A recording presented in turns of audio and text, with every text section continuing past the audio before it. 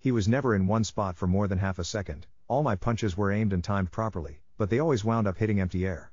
He'd jump in and out, slamming me with the left and whirling me around with his right or the other way around. My arms were plastered with leather, and although I jabbed, hooked, and crossed, it was like fighting an octopus.